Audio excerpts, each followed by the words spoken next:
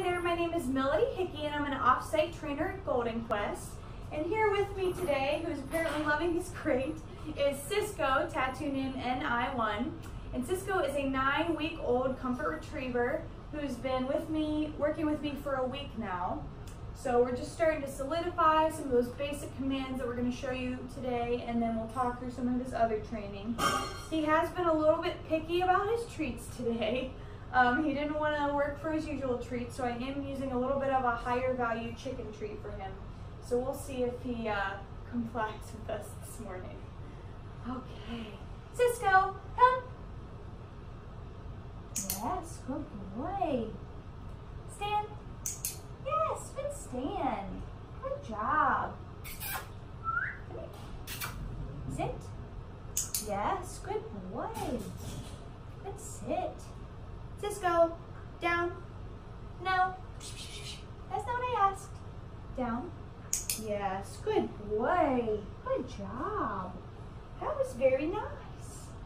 That was very nice. Okay, come here. Come here. Cisco, touch. Good job. Good boy. Good job. Okay, come here.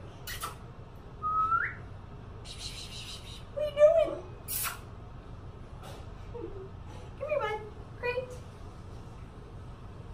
Yes, good boy. Good job. Good job.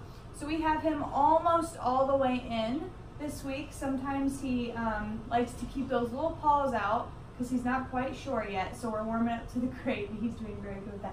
Cisco, come. Can you do a sit? Yes, good boy. Good boy.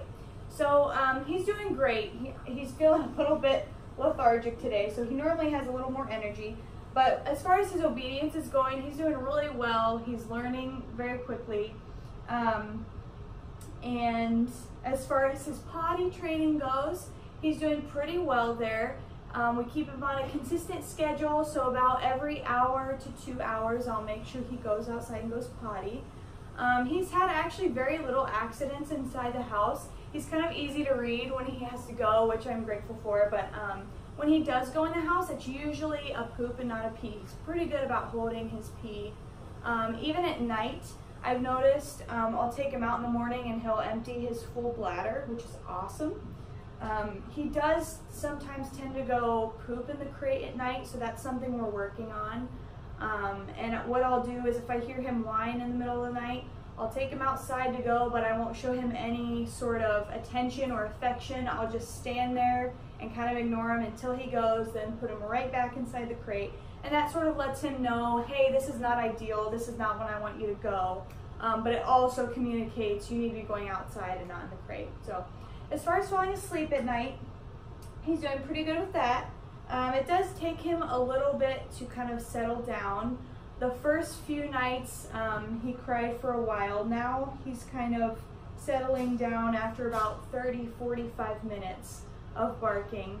Um, so I try and, and use some techniques to help settle him down. I've been putting some peanut butter in the Kong in there with him at night.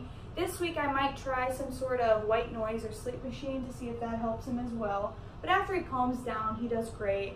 Um, he usually sleeps through the night with maybe one or two breaks. I usually get up with him around six or seven in the morning, take him right outside, and then give him his breakfast. So that's kind of his routine. Are you feeling sleepy, Cisco's? Are you taking a little nappy? My goodness, what a baby dog. Yeah. So he is so sweet and he's so cuddly. He would just snuggle all day if he could. Um, so he's been a real joy to work with for even a week. And uh, we look forward to working with him more. So, Cisco, come here. Come here, bub. Do you want to do a few more things? Come here. Sit. Yes. Good boy. Cisco. Cisco. Can you give me a look?